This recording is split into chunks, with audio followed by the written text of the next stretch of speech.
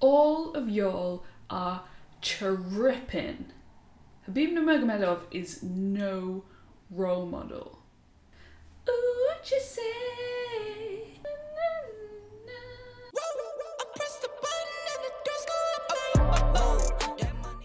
That's right, I said it. Greatest lightweight champion the UFC has ever seen. A name in every GOAT conversation. The man who retired without ever losing a fight and only ever losing one round. Not a fucking role model. Why? He's spoken about it before, saying the weight of his celebrity is heavy on his shoulders. He's happy to be seen as an example of a great athlete, but not of a Muslim and not of a man.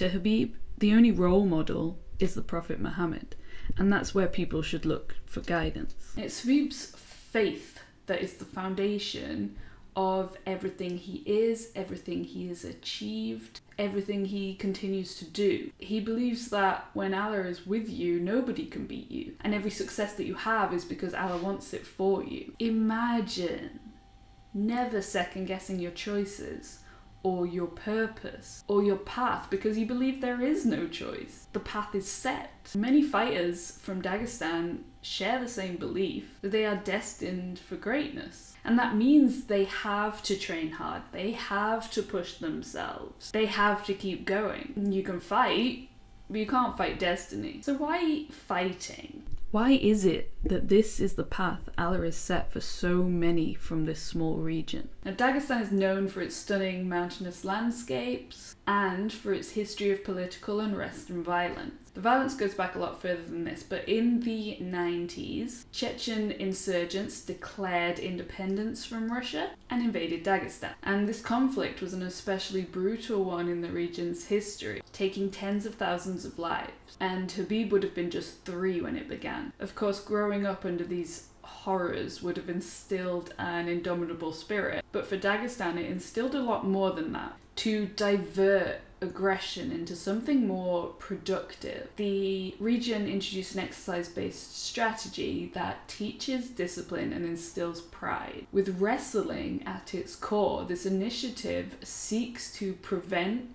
the young men of Dagestan from entering the forest, which is how they refer to the Islamic insurgents. This purpose to move away from the horrors of the past and as a community create a better future is one of the reasons why athletes from Dagestan and Khabib very notably within our MMA world are cut above the rest. The region has phenomenal access to training in combat sambo, judo, wrestling, jiu-jitsu, kickboxing, boxing, which make up all the most important aspects of MMA. Just as the USA has football as its national sport, Dagestan has wrestling. So with Allah behind him and an environment around him that breeds natural athletes, Khabib's path was set to greatness.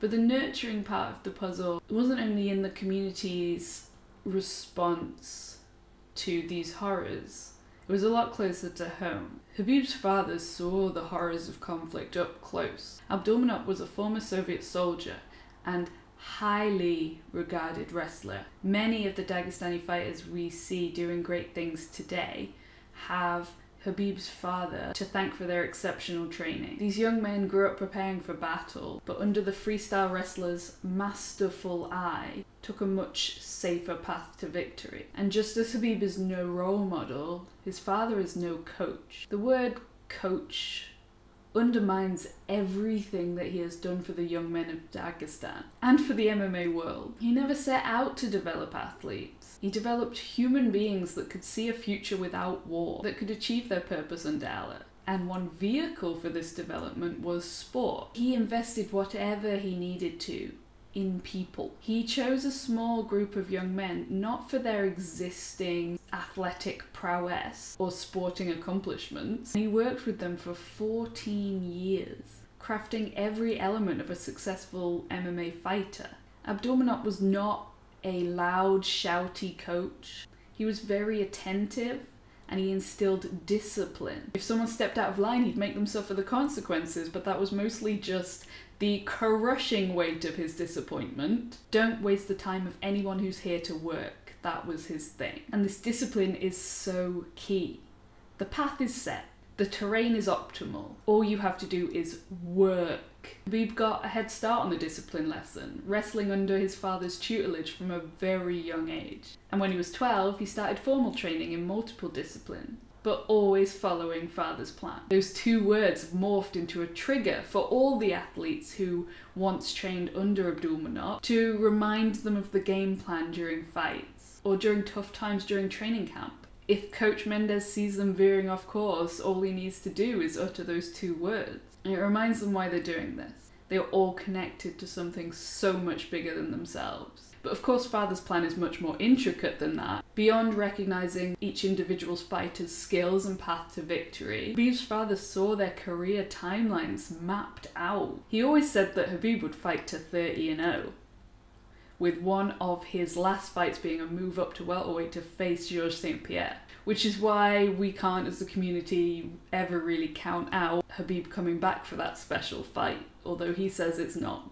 on the cards. Abdulmanap said that Islam would be the next champion after Khabib, basically a passing of the baton, which Khabib always jokes with Islam about because obviously he's running behind. Abdulmanap saw the big plan for each of his athletes, and that's a special skill that few have in any industry. But the minute picture came down to the preparation. Like I said, faith is the foundation, the environment around Khabib provided the resources, his father provided the knowledge, but day to day it always came down to discipline. To take all that is available to you and turn it into something great. Most of us probably grew up with a few hobbies here and there, but had free time to spend playing with our friends.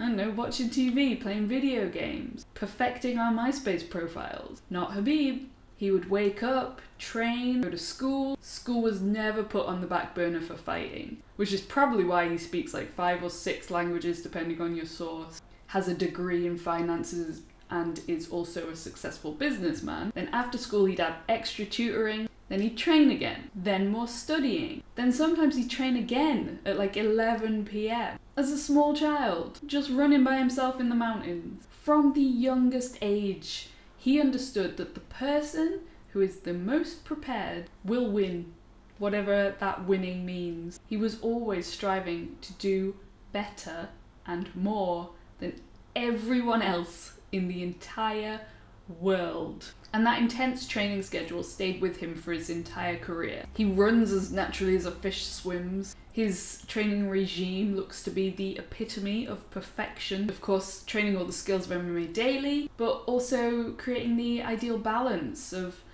cardio, core, upper body strength and conditioning, lower body strength and conditioning, flexibility, agility, mobility. Any one of us can figure out a plan like that, but it's discipline that means that he sticks to it. No corners were ever cut in the making of Khabib Nurmagomedov. While he started out in Dagestan and continued throughout his career to train in Dagestan, both he and his father knew that he was never going to really carve out his competitive advantage if he was only taking in the knowledge of one region. His professional career was spent split between his hometown and the US, and he extracted the benefits of each with surgeon like precision. In Dagestan, he runs on the harsh terrain, making the most of the high altitude to raise the number of red blood cells and improve his cardio advantage. They'll follow the run with an hour of pad work, and all this before breakfast. Dagestani camps train together two or three times a day, and that's not all. They are truly bonded, taking lovely, wholesome naps together as well. Following the nap, they'll do like a two or three mile hike up a mountain,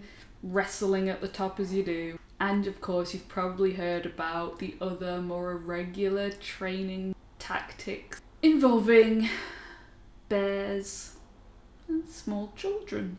Khabib never settles in his top dog position, always looking for ways to improve his skills, and therefore only training with the best training partners, many of which, of course, can be found in Dagestan, but many of which can also be found at AKA in the US. A true champion needs to be great at as many styles as possible And American wrestling is very different to Dagestani wrestling. So we found training partners like DC in America to help build out his skill set. And you can bet he also increased his striking skills as well. Now, despite the fact that his earnings increased with his success and they started out low with his first UFC contract, I believe guaranteeing him six grand, he always seemed to keep his training pretty low tech running, calisthenics, Russian sauna, shadowboxing, etc. And of course, it all paid off in the octagon, if he could actually get there. Let's not be looking through rose tinted glasses here. Khabib's greatest opponents were his weight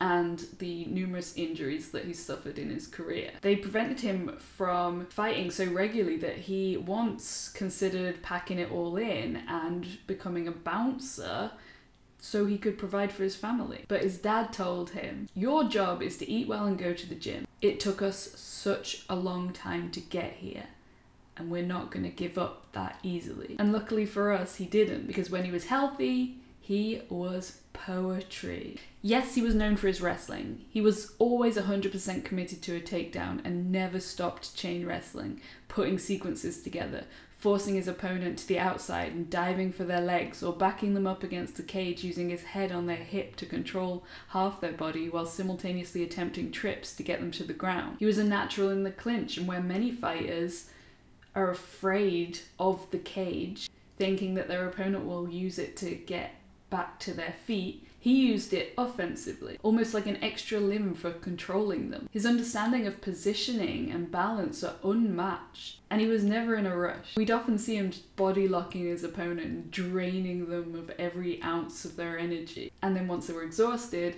getting them down with a judo style hip throw. And once they were down, it only got worse for them from there. The word maul has never been so appropriately used. His top control was inescapable. He was so active on the ground, always looking to improve position. He'd wrap the legs, which is a sambo trademark style, leaving his arms free to implement damage. And the power he could generate from that top position was immense. Just ask Edson Barboza. He would beat your frickin' soul out. And this unbeatable wrestling serves more than its obvious purpose. Yes, he is that good, but when you're facing Khabib, you're facing the myth the legend. His name is synonymous with wrestling in the MMA community. So you spend all your time fearing the takedown, and you at best don't follow your game plan, and at worst make huge mistakes. But of course, he's not in the GOAT conversation for just having one discipline to his name. His striking was slower to develop and highly criticised throughout his run, but the mind games he plays on the feet extended to his strikes as well. He would explode with wild hooks, step in with uppercuts to close distance, or force the opponent towards the cage. He'd feint a takedown and come over the top with a strike.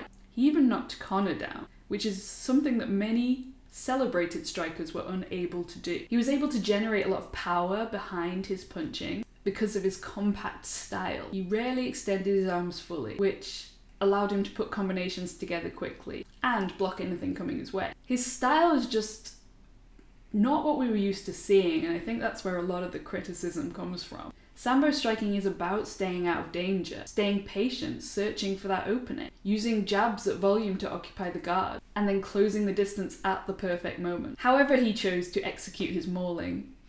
Once he knew that he had broken his opponent, he'd start executing his mouth as well, advising them they should probably just give up. Some people see this as a mind game, like demoralizing his opponents further. But Khabib says it was a mark of respect he says he didn't want to hurt Michael Johnson. He didn't want to smash his face. He wanted him to give up to avoid further damage. And when that didn't happen, he says he went for the Kimura really slowly to avoid breaking Johnson's arm. And when he fought Justin Gaethje, he had the opportunity to secure an armbar, which is a really painful submission that can lead to lasting damage if the opponent doesn't tap. And you know Gaethje ain't gonna tap. So Khabib refused the opportunity, instead switching to securing a body position and the choke that, while still offering extreme discomfort, results in a swift submission and no lasting damage. He has spoken before about not feeling 100% comfortable that his sport demands damage and pain to show superiority. He says that he loves football because you can show how good you are through beauty. Bet you didn't know he was such a romantic, eh? Well, actually, he married his first love. He and his wife sat together in school Adorable. And by now you've probably noticed a strong theme of family and community running through this story. Of course, his father passing was the catalyst for his retirement, but it was a promise he made to his mother that sealed the deal. He gives back to his own community and others in need more often than we're made aware of. I talked about that in the Dagestani Warriors video, so I won't repeat myself, but I will link it for you on the end screen. But it's a common principle that all the fighters from Dagestan, both well known and below the radar, prioritize supporting each other, being humble, and doing what's right. They understand the importance of giving back to younger wrestlers and MMA fighters, the ones coming up behind them. And now that he's no longer competing himself, it was only natural that Khabib would carry on his father's legacy. Prior to Abdulmanap's young group of fighters, there had never been a UFC fighter from Dagestan. And in a way, his legacy is still being written, with Khabib now at the helm. He slipped seamlessly into the empty shoes, addressing the team every day on the mats just as his father did,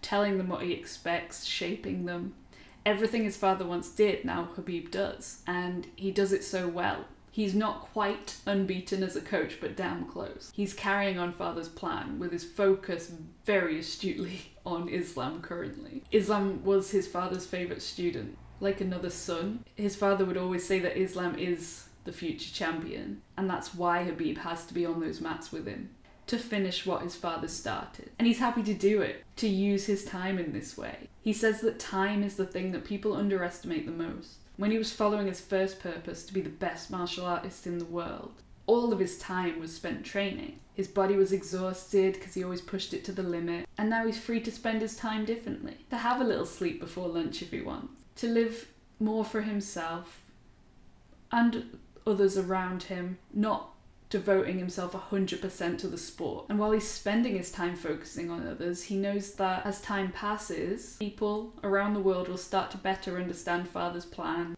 and the real genius of the man now lost. He says time will pass and history will tell the story. Like, subscribe, come back next week, and it'll soon be time for us to start talking about Islam and this exciting title matchup that I am. I mean, mostly just treading water up until October 22nd, really.